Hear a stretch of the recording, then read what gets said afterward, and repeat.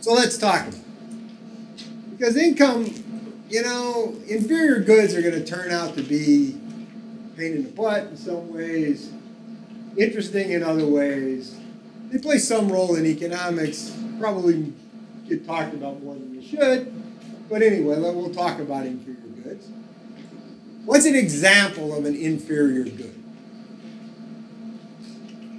What's, a, what, what's an example of a good that's inferior? What? Potato. okay. Walmart brand sweaters. Walmart brand sweaters. Kraft mac and cheese.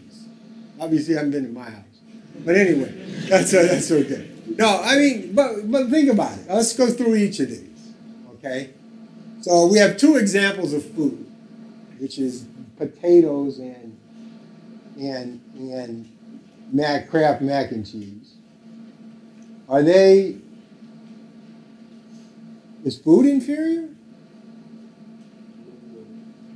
No. I mean in general people buy more food as income goes up, right? As their income rises, they buy more food. What do we mean by more food? How would you measure food? The guy's buying like mac and cheese, steak, potatoes, oranges, you know, all the hamburgers, all kinds of stuff. Okay. So you would you would you would measure food food consumption equals the sum of pi xi i element of food. so all the things we're going to call food, we're going to add up your expenditures. And we're going to say d food, the change in food, is the sum of what? Of i element of food of pi dxi. What's important, and you can see this formula bears a strong resemblance to the formula I put on the board before, because it was the sum of pi dxi over all goods. This is just over the food goods.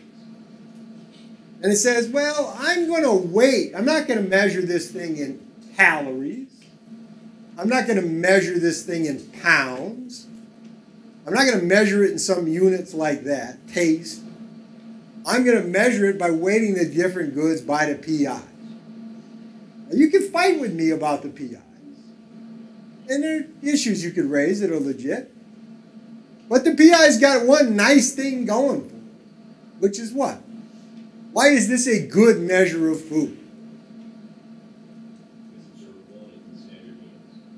Yeah, but it's in more than in standard units. Pounds would be in standard units too. Okay, why does it not make sense? Why does this standard unit make more sense than pounds as a standard? Yeah, because they reflect, you know, this is implicitly assigning a weight to each of the goods. It says when I add these things up, I'm going to count each unit of good I at some rate and good J at another rate. And the PIs have a strong virtue going for them.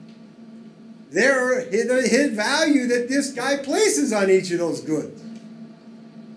I value a pound of steak at three times the price of a pound of hamburger because it sells for three times as much. Which tells me this guy who's buying a steak and a hamburger must value a pound of steak three times as much as he values a pound of hamburger. Right? So the virtue of this kind of expenditure measure. Now remember, I'm holding the prices constant. I'm not looking at DPI. That I'm not looking at. I'm saying take the prices and measure the change in consumption at those prices. Value it because it tells me the trade offs he's willing to make. That's the big virtue of this. Is it reflects not just market values, it reflects his values. And even if the pound total pounds went down, he was getting steak that was worth three times as much as the hamburger. Even if total pounds went down, if the value went up, he was getting more food as he sees it, in terms of the value he gets from that food. Okay? Any questions that people have? Now, the tricky part is, is that goods are often complicated. They don't just give you food. You, you actually understand very little about food consumption in a rich country if you thought about food simply in terms of like nutrition, right? If you thought about the world as, you know, if a nutritionist looks at the food market, they're just like, oh my God, it doesn't look anything like it should. People aren't valuing these goods based on this quote nutritional value that I think they should be looking. It's kind of like our dentist, right? Who's out there going, oh my God, these people aren't behaving the way I want them to. They're eating all this crap that they shouldn't be eating. But they like that crap.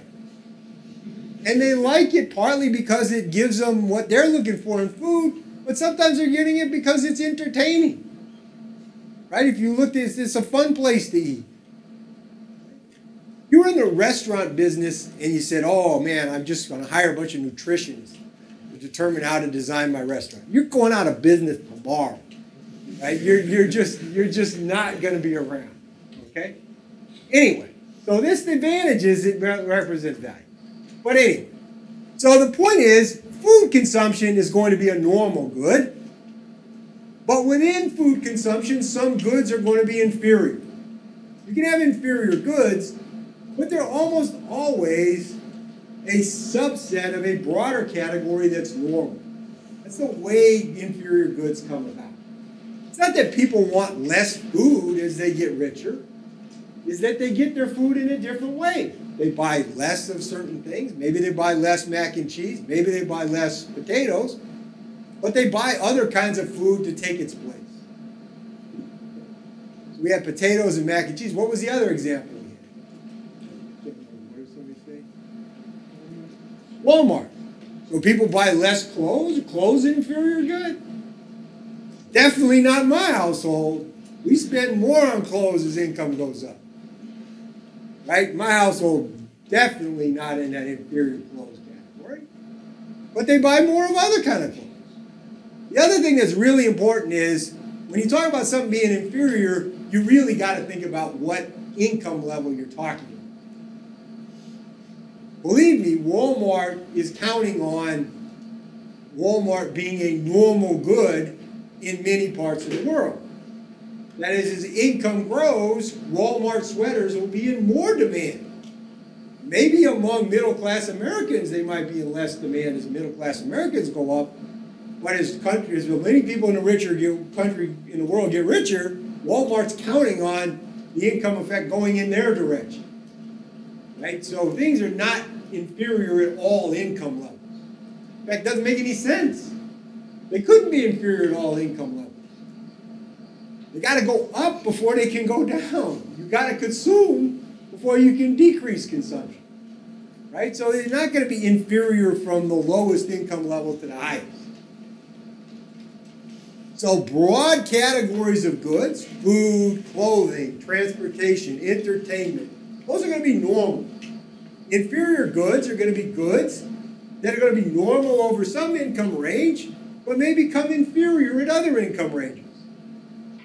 And you know, if you define goods narrowly enough, they'll almost always have that kind of a pattern where they're normal for a while and they become inferior as people substitute to even higher and higher, typically higher quality goods as income goes.